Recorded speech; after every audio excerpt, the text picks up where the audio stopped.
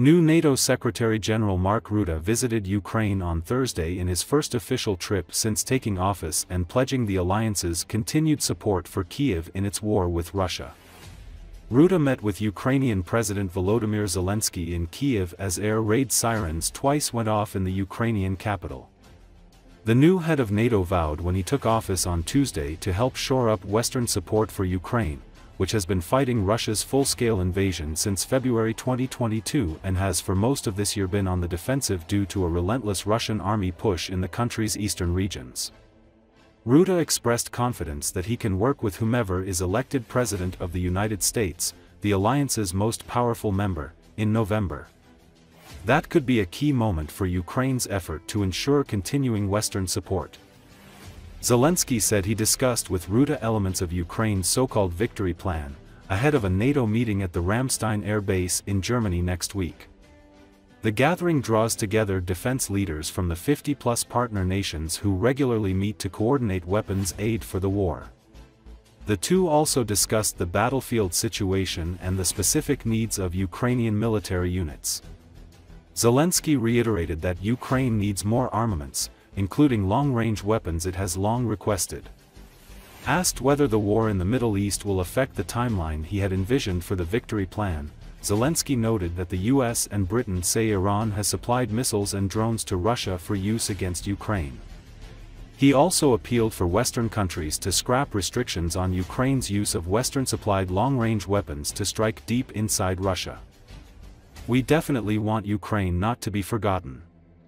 But the best option to not forget about Ukraine is to respond with weapons, to give the appropriate permission, Zelensky said. And to help shoot down the enemy drones, by the way, the same Iranian missiles or drones, shoot them down in the same way as they shoot them down in the sky of Israel. Rutte reiterated the alliance's unwavering support for Ukraine, insisting that NATO stands with Ukraine.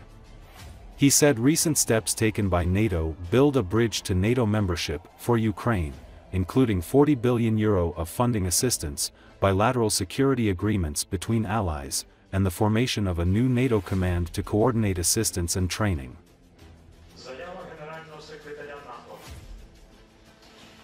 But this is my first time here as NATO Secretary General. And it was important to me that I come to Ukraine at the start of my mandate to make crystal clear to you, to the people of Ukraine, and to everyone watching, that NATO stands with Ukraine. As the new NATO Secretary General, it is my priority and my privilege to take this support forward.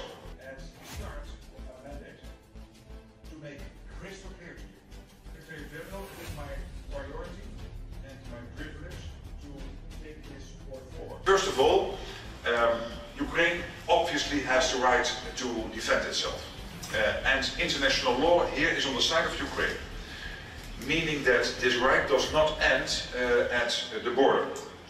Um, and Russia is pursuing this illegal war, uh, and that means that um, uh, targeting uh, Russian fighter jets uh, and missiles before they can be used against Ukraine's civilian infrastructure can help save lives. lives.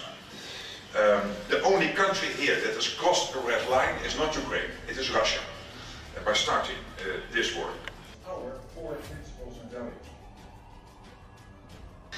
Що стосується Близького Сходу, я не можу сказати, що та чи інша трагедія, війна відволікає. Це просто не дуже справедливо по відношенню до загрози на інших континентах, в інших частинах світу. Це велике горе, цей обстріл це просто трагедія. Те, що знищили ракети, і нема масових вбивств. Ну слава Богу, можу сказати. Слава Богу, що так сталося. Слава Богу, що є союзники, які захистили людей Ізраїлю.